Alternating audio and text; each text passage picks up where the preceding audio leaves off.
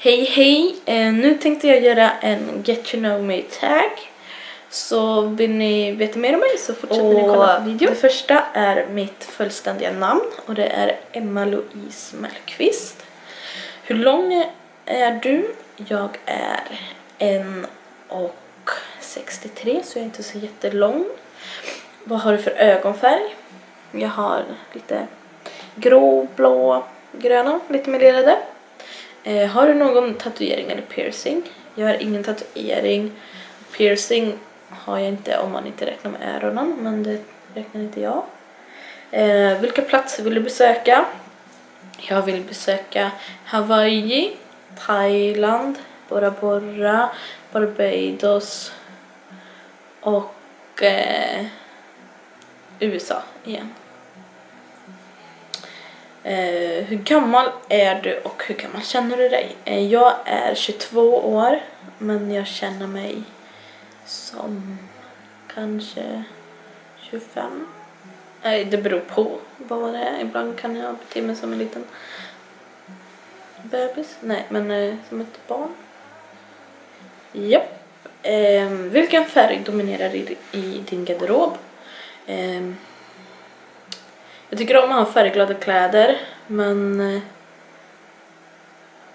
jag har massa tröjor och sånt i massa färger och sånt men byxor och sånt är typ svart. Men jag måste nog säga svart tror jag. Jag har ganska många svarta klänningar.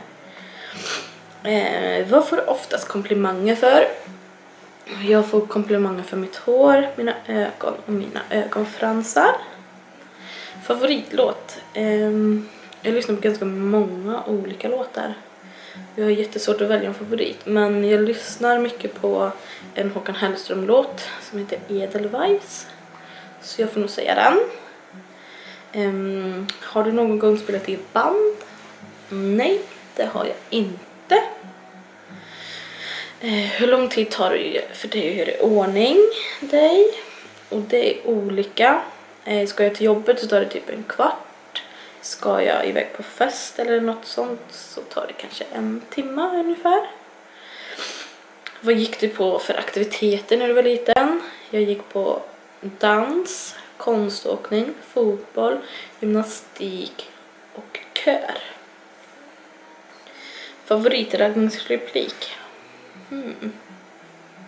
Jag brukar inte använda mig utav raggningsrepliker. Ehm, så jag har ingen aning. Jag behöver inte använda det heller. Ehm, favorithögtid? Eh, jag får nog säga julen. Jag älskar när det är vinter med snö, alla julbelysning, julgranar, julklappar, familjen, släkten samlas och mm, julen är min favorit. Vad finns alltid i ditt kylskåp eller skafferi? Det finns alltid ketchup. Det är min sambo. Han älskar ketchup. Så det har han till typ allt. Eh, sen finns det alltid eh, pasta och sånt.